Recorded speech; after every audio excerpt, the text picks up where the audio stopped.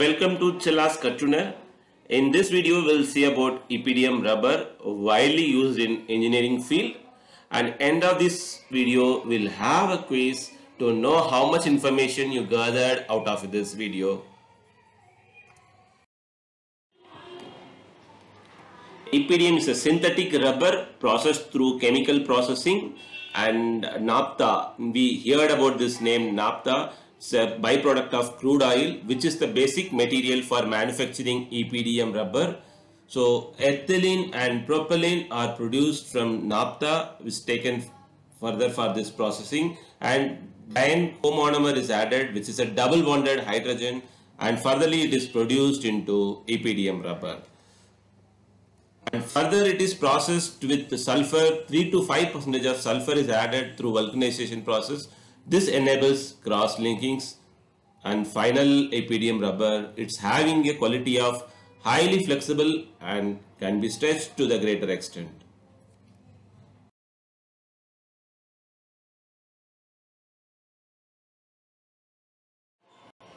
EPDM rubber processed in multiple ways to get a final product. Majorly transfer molding, compression molding and extrusion processes are adopted. And you can see the right side image to understand the processes.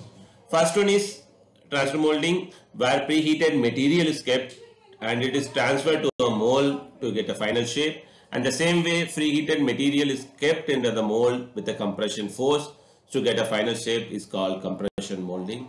And in, in extrusion and preheated material is forcefully passed through a nozzle to get a final shape is called extrusion. As it is a synthetic material and it, uh, it based on the application the properties can be adjusted in this. And for inspection you can find the multiple properties. First one is density. It's 1.1 tensile strength 17 megapascal. Elongation percentage it is 450 and shore hardness it varies from 50 to 70 and compression set 20 to 60 percentage and in the final product it goes through multiple testings one is heat aging temperature cycle and ozone resistance in this test like the product is kept under the atmosphere of either heat or ozone exposure for a certain time period and taken back and that hardness and shapes and visual parameters are being verified to evaluate the properties of a material. Now let us see the advantages and disadvantages of EPDM rubber.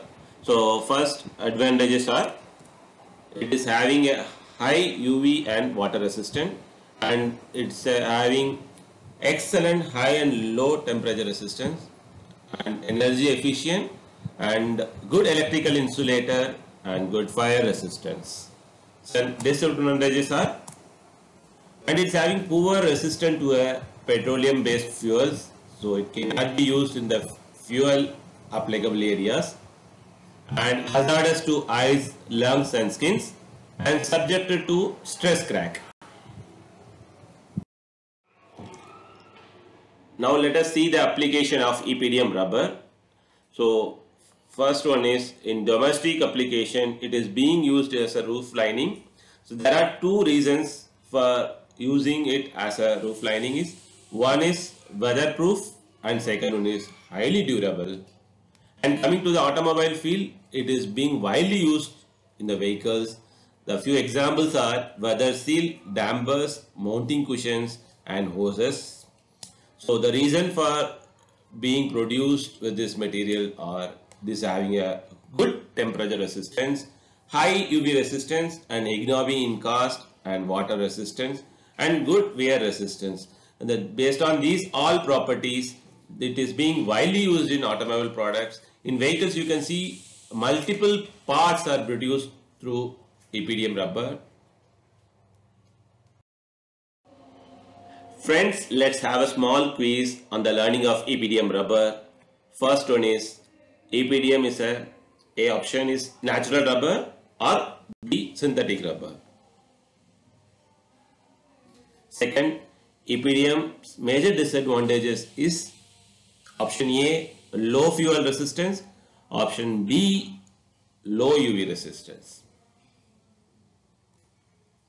Third question is water absorption limit of EPDM rubber is option A 1 percentage, option B 8 percentage. Friends, share your answer in the comment section.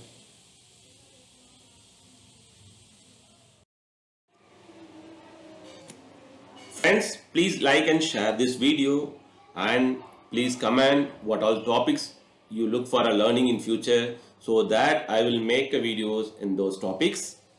Thanks for watching.